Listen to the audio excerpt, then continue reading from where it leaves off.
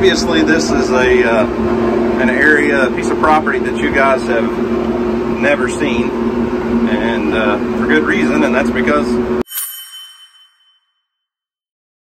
Well, what's up, guys? It's Daniel from Arms Family Homestead, and it is a beautiful fall day in southern Oklahoma. Still seeing some, at least in my opinion, summertime temperatures. We're in that time of year where when you come outside in the morning, it's in the 50s and you want to put on a hoodie or a jacket. But by about 10 a.m., it's almost like shorts and t-shirt weather. Uh, the high today is probably going to be about 85. So it is warm, but it's a beautiful day. And about, I don't know, about two weeks ago, I mentioned I had a new tractor implement coming to uh, get a little work done on the farm. And it was, it's an implement that uh, I really never knew I needed, I guess. So I, uh, I deal with a lot of different companies, a lot of different uh, machinery and things, and we get to test out a lot of different uh, tractor implements and tools and things. Anyway, anything from, you know, brush hogs and landscape rakes, and I've got a a uh, chipper that will work your little hiney off, uh, a couple different grapples, tree shear, and all the the uh, brush cutters and stuff for the skid steer. And uh, it's just something that I really enjoy doing. Some of these implements are things that I may not need all the time, but they are very handy for a specific purpose. And it may be something that applies to someone that, that one of you guys could really use. So we get to test things out and use products and, you know, not necessarily just promote everything, but test it out, see if we like it, see what we don't like, use it, and get some work done. Okay. So today is one of those days we're testing out a new product, something that I've honestly only ever used once, one other time in my life. And I'm very excited about this. So to start with, we're going to be running the TYM T574. It's a 50 horsepower tractor, I believe like 46, 47 horsepower at the PTO. And we're going to be pulling this Rhino Flexwing mower. It's a 10 foot cut mower. Now, I still have one wing flipped up just so I can kind of show you guys. This thing is a beast. Now, I have not used it more than about two minutes. The other night I hooked it all up, tested it out for about two minutes on some short grass just to kind of get everything set up, make sure I had it all ready to go for this video. But today and in the, you know, over the next foreseeable future, I don't know how long, for sure how much mowing I've got to do, but I've got some projects and you're going to be seeing this a little bit on the channel, but uh, I, uh, I'm excited about this one. I mean, if you've watched our channel for very long, you know I absolutely love running equipment. I've, I've said it to a lot of people. They say, dude, if you lost your YouTube career, if YouTube went away, what would you do for a living? I'm like, I would have my own business running the skid steer and tractors and doing jobs for people because that's just, I love it. It's so much fun. So we're going to put this thing to work today.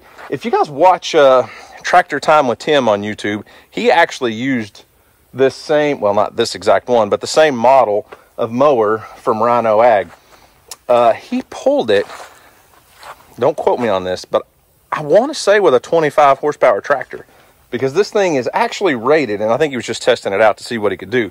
But this thing is rated for as low as 35 horsepower you can pull this 10 foot flex wing mower with a 35 horsepower tractor. So the TYM 574 here should be plenty of tractor to pull it. And I am using this tractor today because it has a cab and my allergies would just destroy me if I uh, use that 5835, the open cab tractor. It'd pull this thing just fine too. But uh, yeah, this is going to be fun.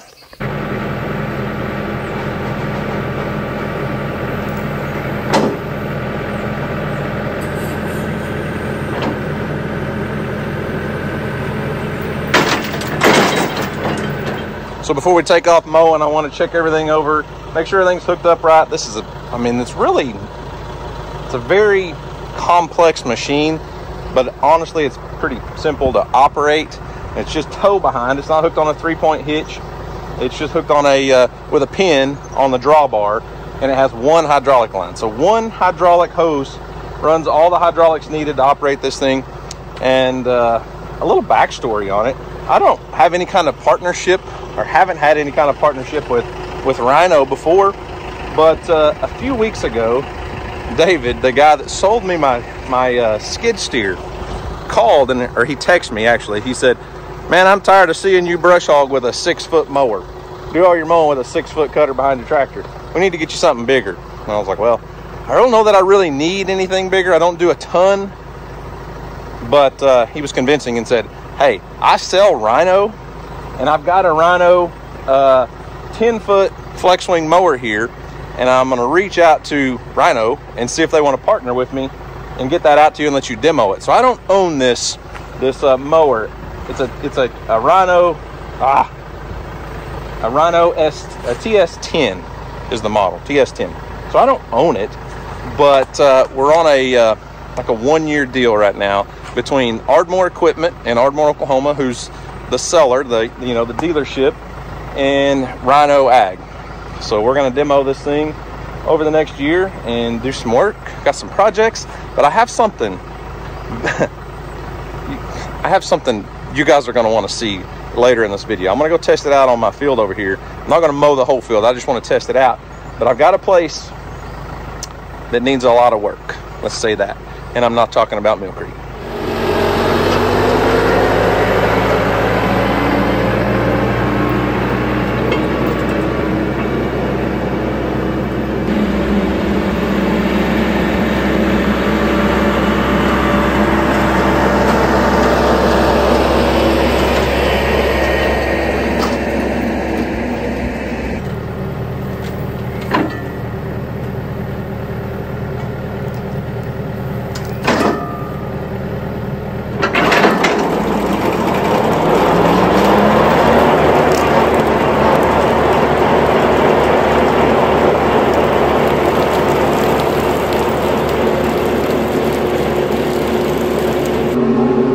like I said, I'm not wanting to mow this entire field. We actually cut hay off of it earlier this year. But we do have a ton of Johnson grass. This, I don't know how well you guys can see it from out there, but uh, it's four to five feet tall and really thick.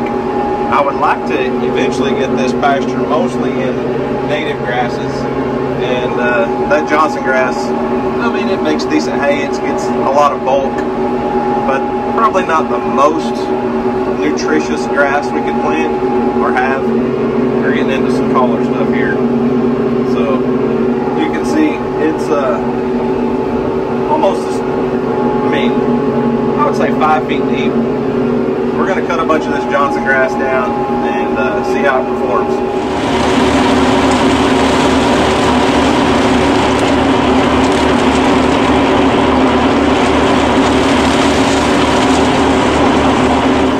Okay, my height reference on some of this was a little off. You can see uh, I'm six three, and this stuff is taller than what I can reach. Not all of it. I mean, I know some of it's lower, but it's a good. I mean, some of this is absolutely over six feet tall, and uh, as much as probably eight or nine feet. So, anyways, I just want to show you that.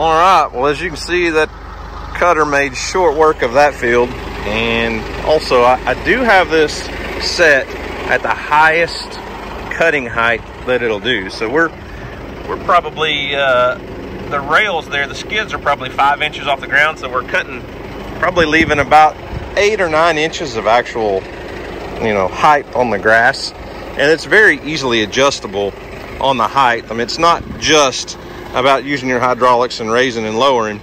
you can uh, add and take away these little clamps right here, these little bands. Pull one off. And then you can set that down even more and that'll lower your uh, your cutting height. So I'm gonna reduce it. We're gonna do something different in just a minute, but then you can just store those like that.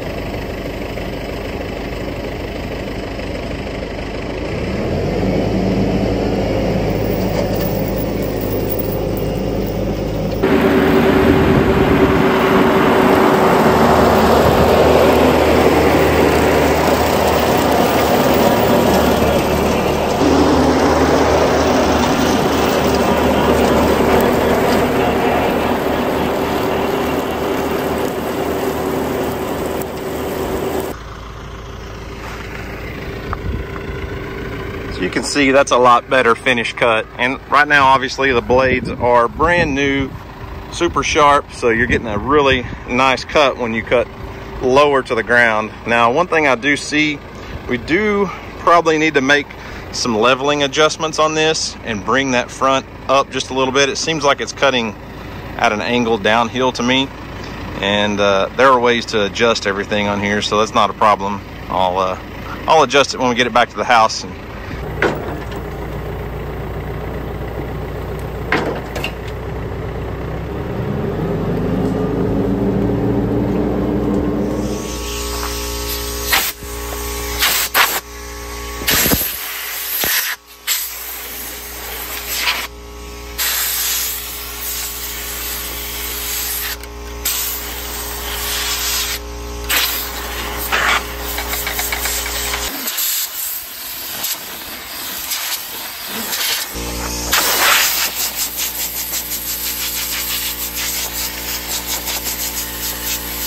I had to make a pit stop at the house. The tractor's been running a little too hot. Typically, that temperature gauge reads around 174 to 178, and we were getting up in the 190s. So came back, cleaned everything out as best I could, blew all the dust out of everything, washed it down, and uh, we're gonna see if it will run a little cooler now. And that's not anything specific to this cutter because it was doing that to me pretty much every time I used it with my six foot mower. So hopefully we solved the problem. But earlier in the video, I mentioned I was going to take you guys somewhere you've never been, you've never seen, because we have uh, something new. Um, I did not, I repeat, I did not purchase another property. But we're going to take this to another property to do some work on. And I'll explain more later. But uh, it's crazy how things work out. You know, when David called me and asked if I was, you know, if I needed this, I was like, well, I can, I can use it at Mill Creek a little bit, but I really don't do a ton of mowing over there because we cut hay. I mean, I have some areas that I do. I don't do a ton of mowing here because we cut hay off of our hay fields. So there is some mowing, but I don't do a lot. However, I had an idea probably three days before he called me about this for a piece of property that needs a lot of work. And I don't have to load this on the trailer to go see it.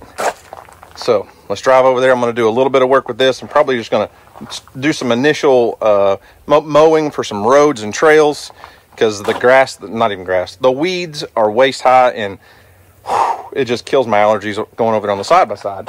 So let's mow some roads through there. I'm going to show you around and tell you just exactly what I'm up to.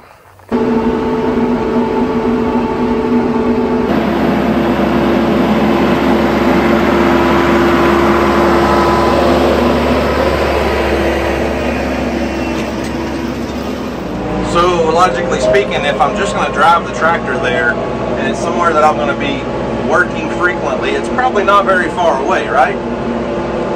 You'd be right. So the new property that we're going to be working on is just right here. Coming up out of the creek on the uh, east side of my driveway. Okay? Let's see if I can get through this gate with everything I got going on here.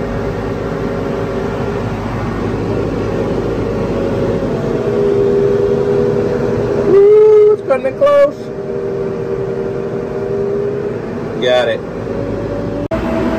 So obviously this is a uh, an area, a piece of property that you guys have never seen, and uh, for good reason, and that's because, well, I don't own it. I would love to. I've tried to, but I don't own it.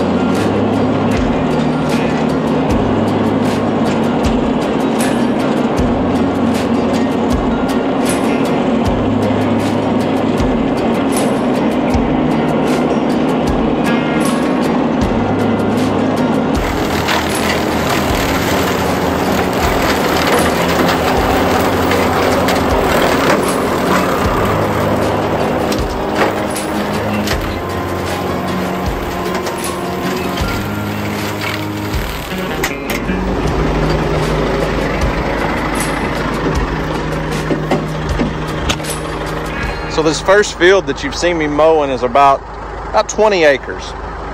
And it used to be very pretty, very cleaned up and very well taken care of. Matter of fact, this entire property used to be immaculate. But over the years, it's just like most old farms, they've kind of been let go and I don't want to say abused, but just not taken care of. And that, uh, you guys know that really like stirs something in my soul. And uh, as you can see, even around all of these giant pecan trees that have pecans all over them, it's just no one is taking care of it in a, probably a decade or more. I actually came in with my tractor years ago, my, my old John Deere tractor, and brush hogged around a lot of these trees and kind of cleaned up a little bit here and there because I was I had permission to hunt over here for a little while and was kind of like, well, I'll do some work to take, you know, make up for permission to hunt. But uh, most everything, well, a lot of this stuff under these trees, that rhino cutter will get it. It'll it'll cut. It's rated for up to two inches, two inches in diameter. Now there are, you know, that cedar tree right there. It'll knock it down no problem. There's some bigger stuff in there that we're definitely going to have to get the skid steer and the brush cutters over here for. But uh, for the most part, this field can be taken care of in just a couple hours with this 10 foot flex wing cutter. Now, this is just 20, 20, 20 acres of this property of 160. There's no way I can show it all to you today, but there's 160 acres. So let's go make some more roads and trails and drive around a little bit.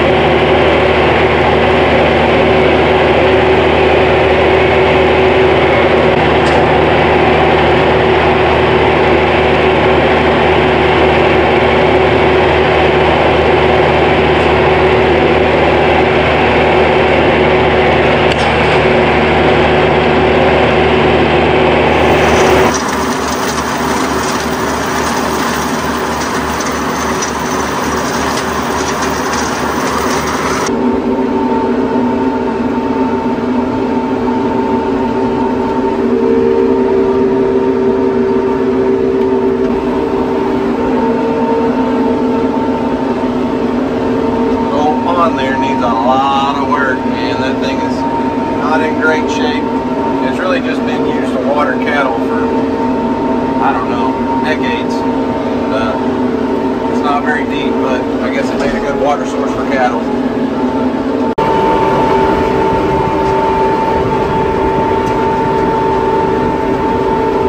So there's my mailbox that goes into my driveway right there this is one of those areas that's bugged me for years because, well, quite frankly, I, I have to look at it every time I turn in my driveway, and I just can't stand the way it looks. So this area is going to need a lot of work with the skid steer and the brush cutters and stuff.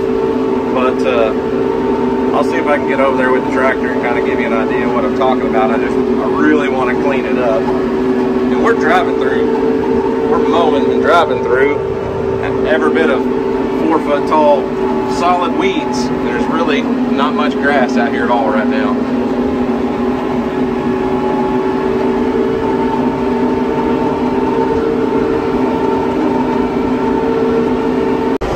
So there's my gate and my entrance to my property. And I've got this long, you know, half a mile long driveway. And just on, you know, the east side of my, my driveway, it just looks terrible and uh, you got a lot of bodark, what people call Osage orange growing up.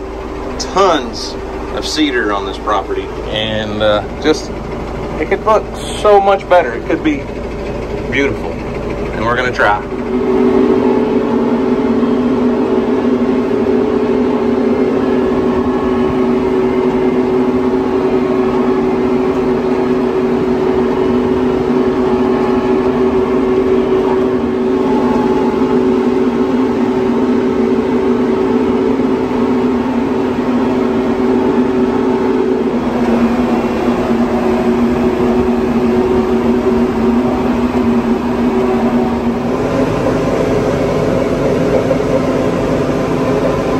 Well, there you have it. The quick tour of the property. 160 acres and a really nice barn behind me. I'm not going to take you around everywhere. So 160 acres of property that I don't own that I'm going to be working on. So what's the rest of the story? You guys have been waiting forever. So this property has been in the same family for generations, probably three or four generations. The lady that lives here has lived here in, in her house um, all of my life. I've known her my entire life. And for the past 20 plus years, really, it's just been a lease property. Uh, different people have had cattle and horses and different things on it. And it's just kind of been let go. And every time I talk to my neighbor, she says, I'm so embarrassed with the way my place looks. If my papa, her grandpa, saw this place today, he'd skin me alive. And she knows what it used to look like, and she knows the potential of this farm. And it is a beautiful place. It's just been let go. So I'm in a uh, a little bit different of a position than most people. So the property is currently leased to a friend of mine for his cattle. He has a you know a livestock lease on it, and he actually just renewed it in August. I came up with this idea in September. Darn the luck, right? But I'm not trying to boot him off of a place where he runs his cattle. Uh, there are no cows on it right now because he's pulled them off for the winter. The last last two winters, he's had to pull the cows completely out of here because it's just been overgrazed. It's not been taken care of. So I come up with an idea and I approached her and I said, I want to do some work on your property. I've got skid steer, I got a skid steer and all the brush cutters and the tractors and the, this Rhino Ag 10 foot flex wing mower. We'll do a ton of mowing. And at first, you know, her first initial thought was, I, I really can't afford to pay you to come over here and work all the time. And I said, now hear me, hear me out. I'm in a different kind of position than most people. I want to lease your property. You can keep the cattle, the guy, you know, a friend of ours that he actually cuts hay for Dusty and I. I don't want to boot him off. He can keep his cattle lease. I am not interested in, in running a bunch of cows on here it would be nice if, you know, if we got the entire lease and that big hay meadow up front would be perfect. DJ could have as many, many donkeys as she wanted. There's probably 30 acres in the hay meadow out front that would be perfect for that. But as it stands right now, he's still leasing it for livestock. I approached her to lease the property. I know this doesn't make sense to most people financially, but I'm willing to pay her to let me lease her place so that I can work on it. You know, and, and really, I'll tell you, I'll give you two things. My dad taught me a lot in the, the years that he was alive. He passed away when I was 21. But a couple things he taught me were to be open and honest with people, be upfront, let people know your intentions. This is me telling you, I'm leasing this property, I'm leasing this ground so that I can come work on it. Doesn't make a whole lot of sense. She couldn't quite figure it out. She was like, wait a minute, so you want to pay me to work for free? I said, eh, yes, because I can make content and make an income. I make my living off the content for you guys, and I get to demo equipment and things. It's a win-win for her and me, and our friend that's leasing it for cattle because here I am doing all the work. Not that he doesn't work here, he, he does put in work. But I approached her with this idea.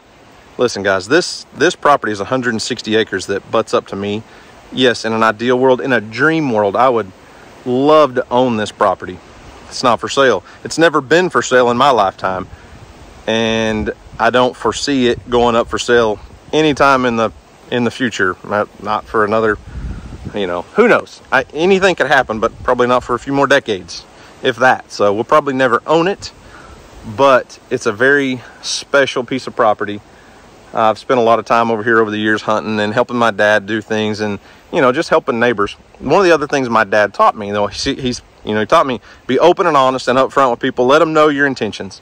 I spent 14 years in law enforcement being lied to every day. I try not to uh, make any sort of deception for you guys. I don't want you guys to think I've got other motives.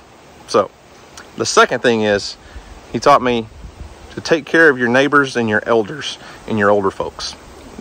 Listen, I'm not calling my neighbor an old lady. I'd never do that. She's the sweetest, most awesome neighbor you could ever ask for. She's not an old lady. She's quite a bit older than me, let's just say that. And she knows what this place can be. She just doesn't have the means and the ability to take care of 160 acres. I fortunately am blessed through you guys to be able to bring my equipment out and do this kind of stuff and make an income, make a living from it, and get to promote some awesome products or get to demo some awesome products and that's awesome to me. Now, I will say this. I'm going to ask you, don't don't get all weird about this. Like, nobody get all upset because Daniel's got the Mill Creek property and the Merch property and his house property. Now he's got this 160 acre property here. And I'm not sure what we're going to call it. We'll just call it the Kirby place. Okay, that's their last name. We'll call it the Kirby place. Um, but I haven't purchased this place. With no I now have no intentions or ability to purchase it.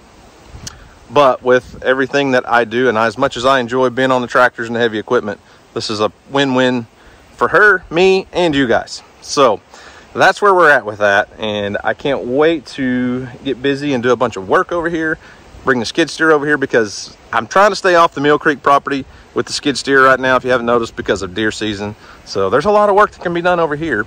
Plus maybe some another place to, to deer hunt. Who knows? I don't know.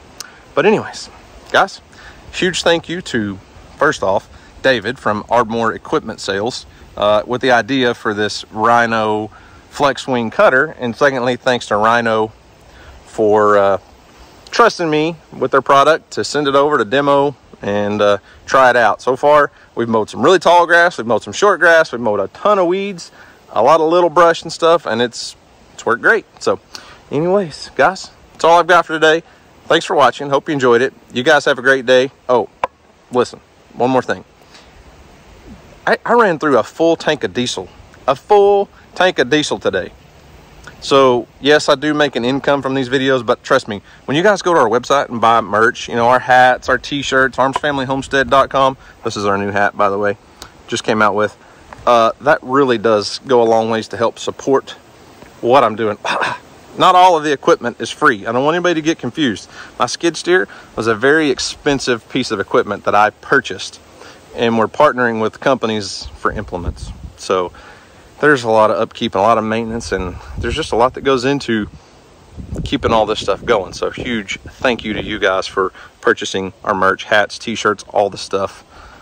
We couldn't do this stuff without you guys. So thanks for watching. Hope you enjoyed it. You guys have a great day. And as always, we'll see you on the next video.